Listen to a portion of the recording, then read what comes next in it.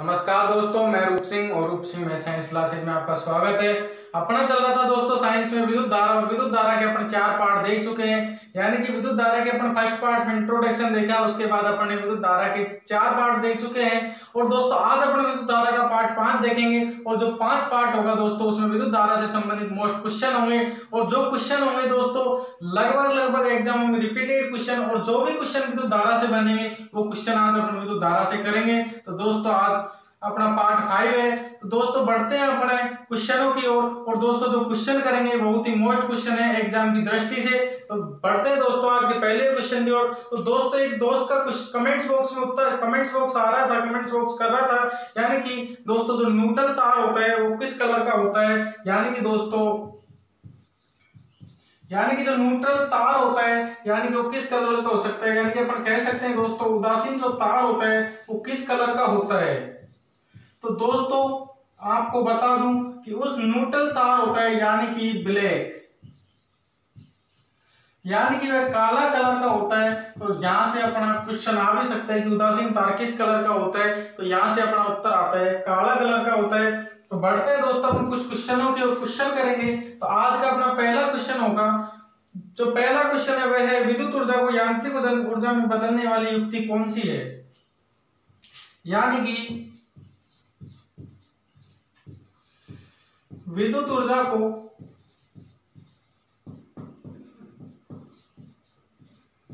यांत्रिक ऊर्जा।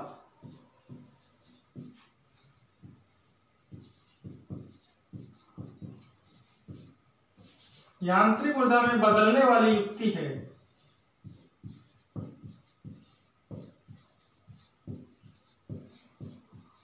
यानी कि दोस्तों, क्वेश्चन है, अपना विद्युत ऊर्जा को यांत्रिक ऊर्जा में बदलने वाली युक्ति है तो इसका अपना यहाँ से आंसर होगा दोस्तों, विद्युत मोटर।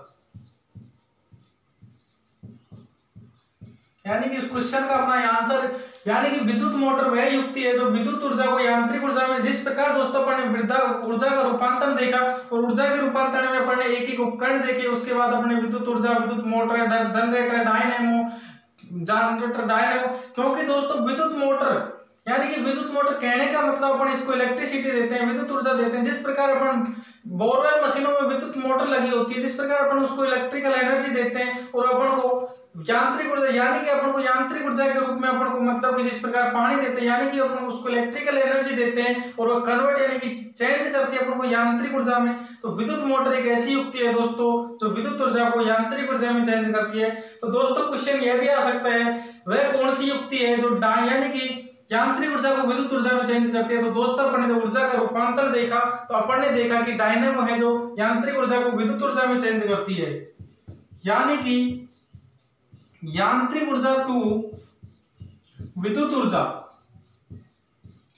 यानी कि तो दोस्तों इस प्रकार का क्वेश्चन आएगा तो यहाँ से अपना आंसर होगा डायनेमो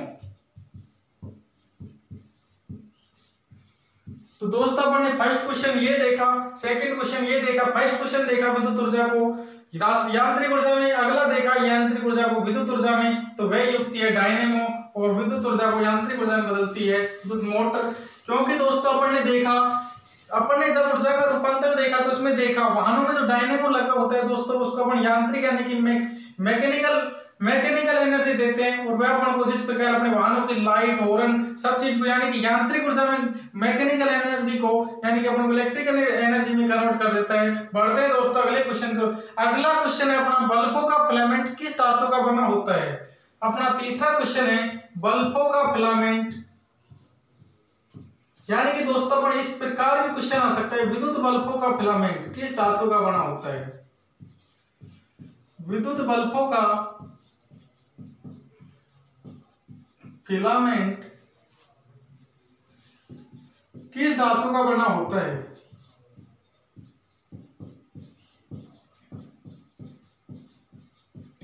तो दोस्तों, जब अपन ने विद्युत ऊर्जा के पार्ट तीसरे या चौथे में देखा था तो विद्युत बल्बों का फिलामेंट दोस्तों टंगस्टन का बना होता है, और अपन ने उसके बाद देखा ट्यूबलाइट तो दोस्तों ट्यूबलाइट का फिलामेंट भी टंगस्टन का बना होता है। तो यहाँ से अपना इस क्वेश्चन का सही आंसर होगा दोस्तों, टंगस्टन, यानी कि अपन कह सकते हैं टंगस्टन। और दोस्तों, विद्युत बल्बों का फिलामेंट टंगस्टन का बना होता है। उसके बाद बढ़ते हैं अपन अगले क्वेश्चनों की ओर। यानी कि अपन ने देखा, एक दो, न्यूट्रल तार का कलर किस कलर का होता है, उसके बाद अपन ने देखा ब्लैक कलर का। उसके बाद अपन ने देखा विद्युत ऊर्जा को यांत्रिक ऊर्जा, यानी कि विद्युत मोटर। उसके बाद देखा यांत्रिक ऊर्जा को विद्युत ऊर्जा, यानी कि डायनेमो। उसके बाद अपन ने देखा विद्युत बल्ब विद्युत बल्ब का फिलामेंट किस धातु बना होता है, अपन ने देखा टंगस्टन। उसके बाद अगला क्वेश्चन आता है, जलते हुए बल्ब का। टेम्परेचर कितने डिग्री तक हो सकता है? यानी कि जलते हुए बल्ब का जलते हुए विद्युत बल्ब का टेम्परेचर यानी कि तापमान कितने डिग्री सेल्सियस तक हो सके? यानी कि दोस्तों कितने डिग्री? तो यहाँ पर अपना उत्तर आएगा दोस्तों 1500 से 2500 डिग्री सेल्सियस तक। 1500 डिग्री से 2500 डिग्री यानी कि दोस्तों, कहने का मतलब जलते हुए विद्युत बल्ब का टेम्परेचर पंद्रह सौ डिग्री सेल्सियस से ढाई हज़ार डिग्री सेल्सियस तक। लेकिन दोस्तों क्वेश्चन में एग्ज़ाम में कुछ बार ऑप्शन इस प्रकार से दे सकता है कि अपन को पंद्रह सौ से ढाई हज़ार नहीं दे और दो हज़ार से ढाई हज़ार दे दे, अट्ठारह से बाईस सौ दे दे और उसके अलावा कोई ऑप्शन मैच नहीं करा तो उस कंडीशन में अपना यहाँ से पंद्रह सौ से दो हज़ार भी ऑप्शन हो सकता है। और दोस्तों, दो हज़ार से 2500 तक भी ऑप्शन हो सकता है। तो आपको ऑप्शन के हिसाब से क्वेश्चन करना है और ऑप्शन में 1500 से 2500 दिया हो तो आपको किसी प्रकार का कंफ्यूजन होने की ज़रूर अगला क्वेश्चन है अपना, विद्युत का सबसे अच्छा चालक और सबसे घटिया चालक कौन सा होगा? यानी कि दोस्तों, अगला क्वेश्चन देखते हैं अपन। अगला क्वेश्चन है अपना, विद्युत का सबसे अच्छा चालक।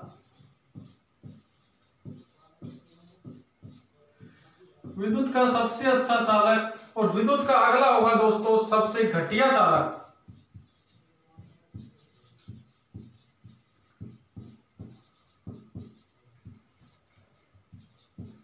यानी कि दोस्तों, यहाँ से अपने दो क्वेश्चन क्लियर होंगे। यानी कि विद्युत का सबसे अच्छा चालक कौन है और विद्युत का सबसे घटिया चालक कौन है? तो दोस्तों, जब अपने कंडक्टर सेमी कंडक्टर यानी कि चालक, अर्धचालक पढ़े थे तो मैंने आपको बताया था कि विद्युत का सबसे बेस्ट यानी कि सबसे अच्छा चालक चांदी है। उसके बाद तांबा, सोना, एल्यूमिनियम है। और दोस्तों, अपन ने पढ़ा था कुचालक तो अपन ने कुचालक में देखा था, यानी कि सीसा रबड़ मैच प्लास्टिक। तो अपन यहाँ से उत्तर देखेंगे, सबसे अच्छा चालक, यानी कि अपना चांदी है। यानी कि दोस्तों अपन ने देखा, सबसे अच्छा चालक अपना चांदी है और सबसे घटिया, और सबसे घटिया अपन ने देखा तो अपन ने सबसे घटिया देखा सबसे घटिया अपन चालक सीसा है। यानी कि दोस्तों कहने का मतलब कंडक्टर की जब अपने परिभाषा देखी थी तो कंडक्टर यानी कि flow of motion of electron, यानी कि इलेक्ट्रॉन का प्रभाव जिस पदार्थ में इलेक्ट्रॉन का प्रभाव हो जाता है, यानी कि जिस प्रकार अपन जिस धातु में, यानी कि सोना, चांदी, तांबा, एल्यूमिनियम एल्यूमिनियम, इलेक्ट्रॉन का फ्लो मोशन इलेक्ट्रॉन का फ्लो मोशन यानी कि इलेक्ट्रॉन का प्रभाव इस धातु में आसानी से हो जाता है, चालक कहलाता उसके बाद अपन ने देखा सेमीकंडक्टर यानी कि अर्धचालक और अर्धचालक वो पदार्थ होते हैं जिनमें सामान्यतः इलेक्ट्रॉन का प्रभाव नहीं होता है, लेकिन दोस्तों गर्म करने पर इलेक्ट्रॉन का प्रभाव हो जाता है। सेमीकंडक्टर कहलाते हैं, और अपन ने सेमीकंडक्टर वहाँ पर उदाहरण देखे थे, सिलिकॉन जर्मेनिक और आर्सेनिक। बढ़ते दोस्तों अगले क्वेश्चन की ओर।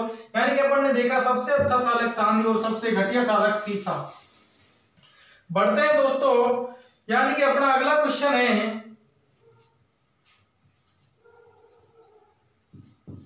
चार ओम और बारह ओम। ये दो प्रतिरोध समांतर क्रम में जुड़े हुए हैं। यानी कि पैरेलल क्रम में जुड़े हुए हैं।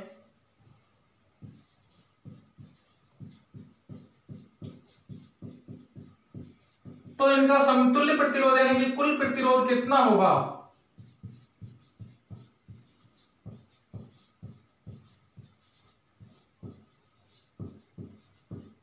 यानी कि दोस्तों, जब अपन ने सीरीज़ और पैरेलल क्रम पढ़ा था तो अपन ने देखा था, अब पढ़ रहे हैं अपन।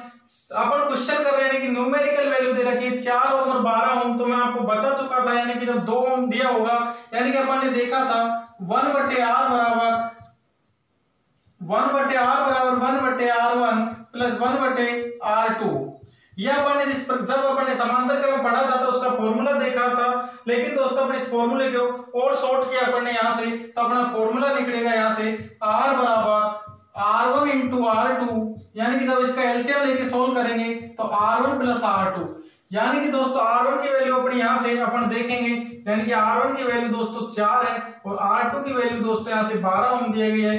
क्योंकि मैं आपको बता चुका हूँ टोटल रेजिस्टेंस यानी कि टोटल प्रतिरोध, और जब मैंने प्रतिरोध पढ़ा था तो मैं आपको बता चुका था कि प्रतिरोध की यूनिट यानी कि प्रतिरोध की ऐसा यूनिट ओम होती है। और दोस्तों, प्रतिरोध का उल्टा प्रतिरोधकता, यानी कि रेसिस्टिविटी यानी कि प्रतिरोधकता का, यानी कि प्रतिरोधकता का यूनिट यानी कि ओम पर मीटर होता है, जो अपन आगे डिस्कस करेंगे।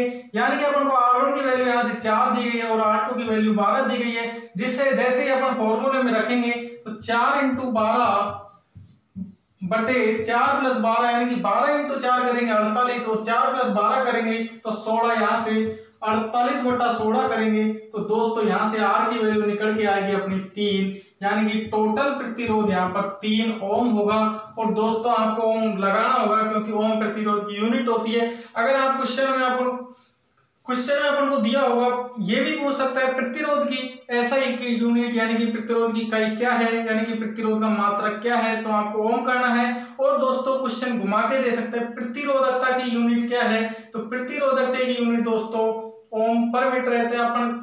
देखिए दोस्तों, स्क्रीनशॉट ले लीजिए, बढ़ते हैं अगले क्वेश्चन की ओर। अपन एक समांतर क्रम का किया।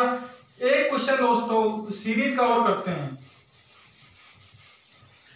यानी कि दोस्तों, कुछ चेंज नहीं करेंगे, अपन सिर्फ़ और सिर्फ़ समांतर की जगह सीरीज़ लगाएँगे, यानी कि चार ओम, यानी कि अपन क्वेश्चन और चेंज कर देते हैं। तीन ओम, चार ओम और बारह ओम के तीन प्रतिरोध श्रेणी क्रम में जुड़े हुए हैं तो उनका कुल प्रतिरोध कितना होगा? और दोस्तों, मैं आपको बता चुका हूँ, सीरीज़ का फॉर्मूला आर बराबर R one plus R two plus R three plus से आर एन तक जाता है, लेकिन यहाँ पर अपन को तीन प्रतिरोध दिए गए कहने का मतलब दोस्तों, यहाँ से अपन को आर वन की वैल्यू दी गई है थ्री ओम आर टू की वैल्यू दी गई है फोर ओम और आर थ्री की वैल्यू दी गई है यहाँ से बारह ओम और दोस्तों, जब अपन ने देखा तो यहाँ से अपना श्रेणी क्रम का फॉर्मूला होता है दोस्तों आर बराबर R one plus R two plus R three तो दोस्तों, जैसे ही अपन आर वन और आर टू आर टू और आर थ्री का यहाँ से मान रखेंगे तो यहाँ से अपना उत्तर निकल के आएगा। दोस्तों, एक बार वीडियो को रोक कर करने की कोशिश कीजिए क्वेश्चन को, क्योंकि जब अपन ने थोरटिकल पढ़ा था, उस टाइम पे अपन ने क्वेश्चन किए थे और अपन न्यूमेरिकल क्वेश्चन करें। क्योंकि दोस्तों, आजकल एग्ज़ाम में अपन ने एनटीपीसी देखी अपन ने 2016 की एनटीपीसी उठा के देखी अठारह उन्नीस की group D RRB railway RRB JE देखिए एसएससी जेई देखिए दोस्तों, क्योंकि साइंस में अधिकतर सीधे क्वेश्चन पूछना, आजकल डायरेक्ट क्वेश्चन पूछना बंद कर दिया है। न्यूमेरिकल वैल्यू से क्वेश्चन आते इसलिए अपन न्यूमेरिकल वैल्यू से क्वेश्चन कर रहे हैं दोस्तों तो जब इसको अपन ऐड करेंगे तो यहाँ से आर की value three plus four plus बारह करेंगे तो बारह चार सोलह प्लस तीन उन्नीस तो यहाँ से अपना आर की वैल्यू यानी कि टोटल प्रतिरोध निकल के आएगा दोस्तों उन्नीस ओम। दोस्तों, कुछ भी नहीं करना है समांतर क्रम में वन बटे आर बराबर वन बटे वन बटे आर वन प्लस वन बटे आर टू प्लस वन बटे थ्री आर थ्री से डॉट डॉट डॉट इनफाइट तक जितना प्रतिरोध दिया है उतना अपन फॉर्मूला लगाएँगे। और श्रेणी क्रम में दोस्तों कुछ नहीं करना है। आर बराबर R one plus R two plus R three करना है। तो दोस्तों इस क्वेश्चन को अपन ने देखा। आर वन की वैल्यू तीन दी गई थी। आर टू की वैल्यू चार और आर थ्री की वैल्यू बारह अपन ने तीनों को टोटल किया। तो यहाँ से अपना उन्नीस ओम निकल गया बढ़ते दोस्तों कुछ आगे क्वेश्चनों की ओर। साथ के साथ में दोस्तों स्क्रीन ले लीजिए, बाद में नोट्स बना लेना तो आगे अपन देखेंगे विद्युत धारा को किसमें मापा जाता है? यानी कि विद्युत धारा का, विद्युत धारा को किसमें मापा जाता है? पहले, अगला क्वेश्चन अपना। विद्युत धारा को किससे मापा जाता है? तो दोस्तों, मैं आपको बता दूँ, विद्युत धारा को एमीटर से मापा जाता है। यानी कि दोस्तों, जिसको ए से प्रदर्शित किया जाता है, यानी कि इलेक्ट्रिसिटी करंट इलेक्ट्रिसिटी यानी विद्युत धारा को किससे मापा जाता है? तो विद्युत धारा को एमीटर से। और विद्युत धारा की ऐसा यूनिट क्या है? तो दोस्तों, विद्युत धारा की ऐसा यूनिट भी एमीटर है। ऐसा यूनिट यानी कि अपन कह सकते हैं ऐसा ही मात्रक तो वह भी अपना एमीटर है। तो दोस्तों, यहाँ से अपने दो क्वेश्चन क्लियर हुए। यानी कि एक तो क्वेश्चन यह क्लियर हुआ विद्युत धारा को किसमें मापा, किससे मापा जाता है? तो एमीटर से, और विद्युत धारा के ऐसा यूनिट क्या है? तो यहाँ से अपना यह भी एमीटर हुआ। बढ़ते हैं दोस्तों, अगले क्वेश्चन की ओर। यानी कि अपन ने देखा, विद्युत धारा को किससे मापा जाता है? एमीटर से। तो उसके बाद अपन हम देखते हैं, जूल बटे कूलाम कहलाता है। क्वेश्चन आता है, जूल पर कूलाम कहलाता है। तो दोस्तों अपन इलेक्ट्रिसिटी पढ़ी जब देखा जूल पर कूलाम कहलाता है वोल्ट तो दोस्तों एग्ज़ाम में आपको कंफ्यूज होने की ज़रूरत नहीं है। क्वेश्चन ये भी कह सकता है वोल्ट बराबर एग्ज़ाम में दिया होगा जूल पर कूलाम. तो अपना आंसर होगा जूल पर कूलाम क्वेश्चन कैसे भी दे दोस्तों, अपन को क्वेश्चन को रटना नहीं है क्वेश्चन को समझना है दोस्तों। अगर अपने पास नॉलेज होगी तो दोस्तों, नौकरी अपने पीछे भागेगी। और दोस्तों, अपने पास, अपन को नॉलेज नहीं होगी तो अपन को नौकरी के पीछे भागना होगा। दोस्तों, इसलिए अपन को रटना नहीं है, समझना है। नॉलेज ज़रूरी है दोस्तों, नौकरी खुद अपने पीछे चल के आएगी। तो बढ़ते हैं दोस्तों, अगले क्वेश्चन की ओर।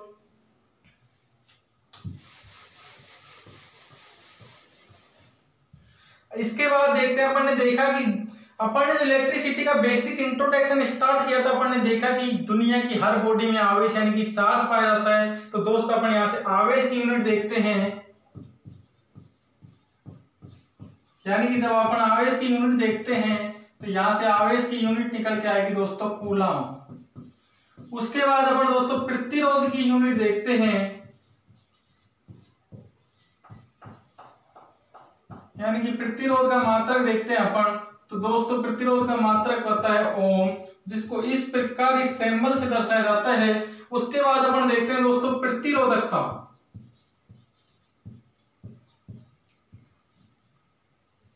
अपन देखते हैं प्रतिरोधकता की यूनिट और प्रतिरोधकता की यूनिट होती है दोस्तों, ओम मीटर और दोस्तों, मैं बता दूँ, इसको रो से दर्शाया जाता है। यानी कि दोस्तों, इस प्रकार एक रो का चिन्ह होता है जिसको रो से दर्शाया जाता है। तो अपन ने देखा, आवेश की यूनिट यहाँ से कूलाम देखी, उसके बाद प्रतिरोध की यूनिट ओम देखी प्रतिरोधकता की यूनिट ओम मीटर देखी। प्रतिरोध को आर से दोस्तों, इसको रेसिस्टेंस यानी कि आर से और इसको दोस्तों रो से दर्शाया जाता है। बढ़ते हैं दोस्तों आगे। साथ के साथ आप नोट करते रहिए या स्क्रीनशॉट ले लिए, जैसे आपको सुटेबल लगे उस प्रकार से करते रहिए। इसके बाद अपन देखते हैं विवांतर को किसमें मापा जाता है। तो विवांतर को दोस्तों वोल्ट मीटर से मापा जाता है।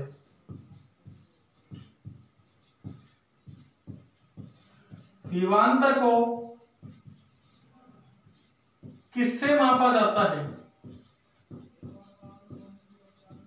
तो दोस्तों मैं आपको बता दूँ विवांतर को वोल्ट मीटर से मापा जाता है।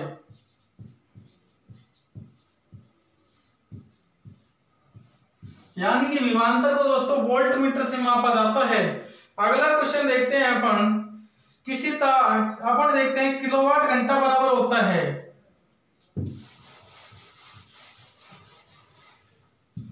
यानी कि अपन ने देखा किलोवाट आवर बराबर, यानी कि एक किलोवाट आवर बराबर अपन ने जब विद्युत शक्ति पढ़ी थी तो अपन ने देखा किलोवाट आवर देखा तो एक किलोवाट आवर बराबर यानी कि दोस्तों एक यूनिट यानी कि अपन कह सकते हैं एक हज़ार वाट यानी कि एक हज़ार वाट मिलकर एक यूनिट का निर्माण करते हैं, उसके बाद अपन देखेंगे दोस्तों एक एच यानी कि एक अश्व शक्ति में कितने वाट होते हैं।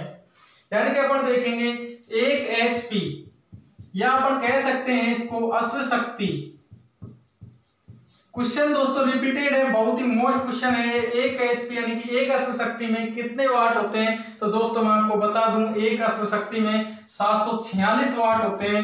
और दोस्तों यह क्वेश्चन बहुत ही अधिक रिपीटेड क्वेश्चन है, इसको आप इंपोर्टेंट कीजिए।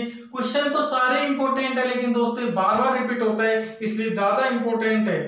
अब अगला आता है, विद्युत ऊर्जा का मात्रक है। अगला क्वेश्चन अपना आता है, विद्युत ऊर्जा का मात्रक है।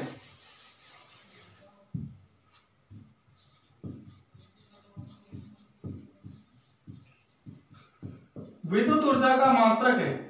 तो दोस्तों, अपन ने देखा विद्युत ऊर्जा को मापने के किलो वाट पर होवर, यानी कि विद्युत ऊर्जा को किलो वाट होवर, यानी कि किलो वाट घंटा, यानी कि विद्युत ऊर्जा को मापने की यूनिट है।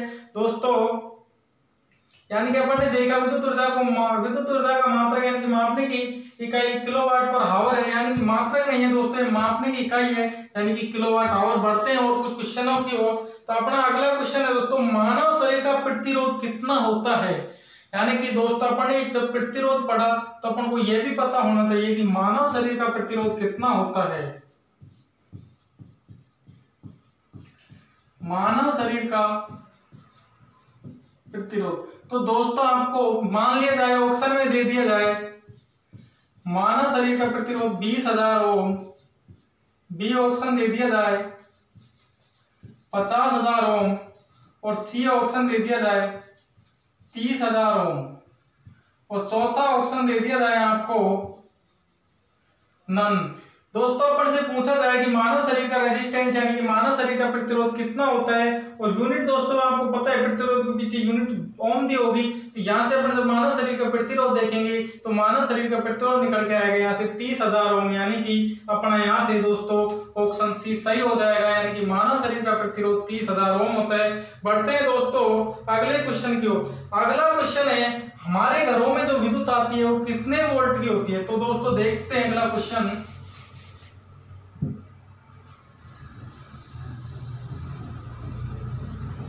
हमारे घरों में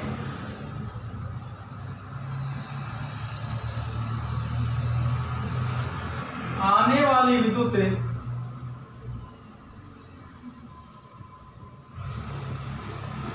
कितने वोल्ट की होती है?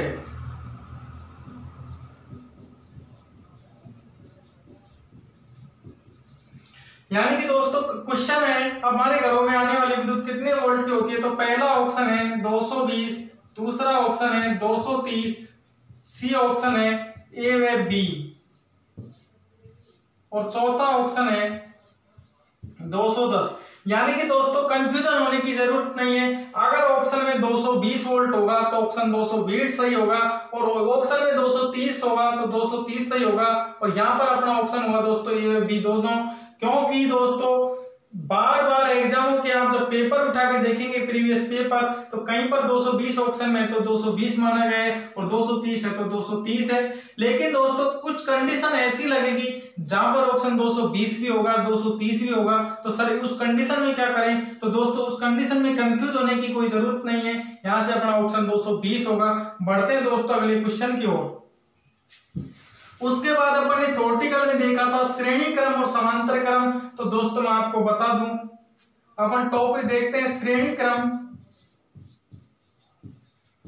और समांतर क्रम यानी कि अपन ने देखा श्रेणी क्रम और समांतर क्रम तो दोस्तों, मैं आपको बता दूँ श्रेणी क्रम में धारा का मान समान होता है, जबकि समांतर क्रम में धारा का मान समान नहीं होता है। यानी कि श्रेणी क्रम में धारा का मान समान होता है।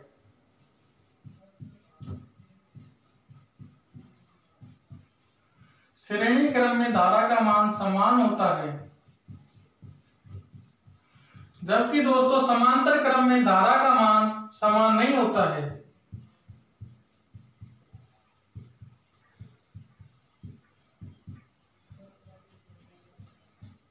यानी कि दोस्तों, जब अपन ने श्रेणी क्रम और समांतर क्रम देखा तो इसको अपन ने देखा कि श्रेणी क्रम में धारा का मान समान होता है और समांतर क्रम में धारा का मान समान नहीं होता है। तो दोस्तों, यह देखा अपन श्रेणी क्रम और समांतर क्रम, इसके बाद अपन देखेंगे। इसके बाद अपन ने पढ़ा था दोस्तों, ट्रांसफार्मर। तो दोस्तों, अपन बात आती है ट्रांसफार्मर की। तो क्वेश्चन इस प्रकार आता है, ट्रांसफार्मर किस सिद्धांत पर कार्य करता है?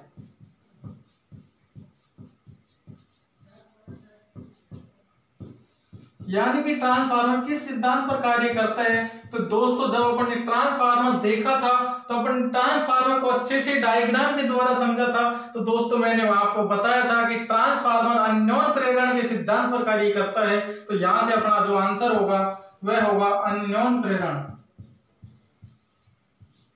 यानी कि दोस्तों ट्रांसफार्मर अन्योन प्रेरण के सिद्धांत पर कार्य करता है। उसके बाद बात आती है दोस्तों, भारत में। आवर्ती की, यानी कि भारत में जो एसी यानी कि एसी करंट होता है, यानी कि प्रत्यावर्ती धारा होता है, उसमें आवर्ती पाई जाती है और वो भारत की आवर्ती कितनी होती है? दोस्तों, दिष्ट धारा में आवर्ती नहीं पाई जाती है, क्योंकि दिष्ट धारा में आपको बता चुका हूँ, बैटरी और सालों में पाई जाती है। अपन अब बात करते हैं दोस्तों आवर्ती की, और आवर्ती से बहुत बार क्वेश्चन आते हैं, यानी कि यह हुई अपनी आवर्ती, और दोस्तों आवर्ती को इंग्लिश में फ्रीक्वेंसी यानी कि दोस्तों बात आती है भारत में एसी की फ्रीक्वेंसी यानी कि एसी की आवर्ती दोस्तों 50 एक जेड यानी कि अपन कह सकते हैं हर्टज है। तो दोस्तों, आवर्ती से बहुत सारे क्वेश्चन आते हैं। आवर्ती से क्वेश्चन ये भी बनता है, आवर्ती आवर्ती का मात्रक क्या है? तो दोस्तों, अपन देखेंगे। आवर्ती का मात्रक हर्टज, जिसको एच जेड से प्रदर्शित किया जाता है। दूसरा क्वेश्चन यह बनता है दोस्तों, कि आवर्ती निम्न में से आवर्ती पाई जाती है ऑप्शन में दे दिया जाएगा। एसी में डीसी में एसी डीसी दोनों में, इनमें से कोई नहीं। उस कंडीशन में आपको दोस्तों एसी पर यानी कि प्रत्यावर्ती धारा सही करना होगा, क्योंकि दोस्तों आवर्ती सिर्फ़ और सिर्फ़ प्रत्यावर्ती धारा में पाई जाती है नहीं कि दिष्ट धारा में। अगला क्वेश्चन दोस्तों यह बनता है कि भारत में जो फ्रिक्वेंसी यानी कि आवर्ती पाई जाती है, वो पचास हर्टज की पाई जाती है। यानी कि एसी की पचास हर्टज है। यानी कि एसी में भारत में पचास हर्टज की फ्रीक्वेंसी पाई जाती है। यह तो दोस्तों आपको क्लियर हो चुका है कि फ्रीक्वेंसी सिर्फ़ एसी में पाई जाती है। तो आपको अगला क्वेश्चन ये बनता है, भारत में पचास हर्टज की फ्रीक्वेंसी यानी कि आवर्ती पचास हर्टज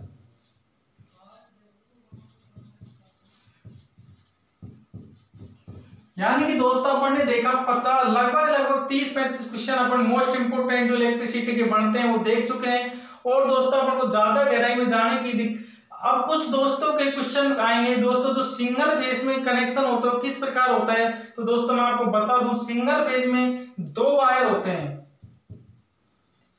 यानी कि अपना जो सिंगल फ़ेज़ होता है, उसमें दो वायर होते हैं दोस्तों, और सिंगल फ़ेज़ में दो वायर होते हैं। एक फ़ेज़ का होता है और एक न्यूट्रल का होता है। और मैं आपको बता चुका हूँ न्यूट्रल का जो वायर होगा, वो ब्लैक कलर का होगा। उसके बाद अगला क्वेश्चन में आपका डाउट बनता है दोस्तों कि सर सिंगल पेज में किस प्रकार कनेक्शन करेंगे? तो मैं आपको बता दूँ सिंगल पेज का जो कनेक्शन होता है सिंगल पेज और थ्री पेज का कनेक्शन होता है, वह होता है दोस्तों आर वाई और बी यानी कि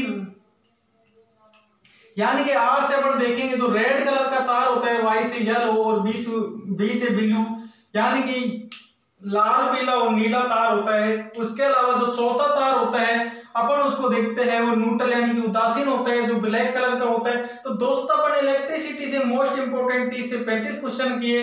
और दोस्तों, आपको हमारी वीडियो पसंद आए तो चैनल को सब्सक्राइब करें वीडियो को लाइक करें। और दोस्तों, इसके बाद अपनी इलेक्ट्रिसिटी यहाँ पर खत्म होती है। आपको लगता है, जो अपन आपको पढ़ने का आपको लगे कि आप इसके बाद ये टॉपिक पढ़ेंगे फिजिक्स का पढ़े केमिस्ट्री का पढ़े बायोलॉजी का पढ़े बूटनी का पढ़े, जो भी आपको अच्छा लगे टॉपिक उसको कमेंट्स बॉक्स में डालिए, इसके बाद वही स्टार्ट होगा। जय हिंद दोस्तों।